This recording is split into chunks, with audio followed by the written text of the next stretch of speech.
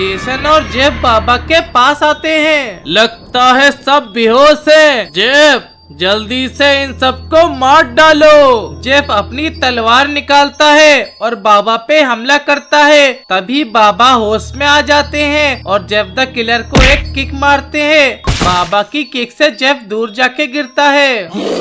ये देख के जेसन को गुस्सा आ जाता है। जेसन अपने डंडे से बाबा को मारता है और बाबा दूर जाके गिरते हैं। अले बापले जेसन ने तो बाबा को मार दिया। अब तुम दोनों की बारी। रॉड जेसन को फ्रीज कर देता है और रॉड मोलू बाबा के पास आते हैं और रॉड बाबा को उठाने लगता है। तभी जेफ को होश आ जाता है। जेफ देखता है रॉड ने जेसन को फ्रीज कर दिया है। जेफ जेसन के पास आता है और जेसन पे लगी बर्फ़ को तोड़ देता है।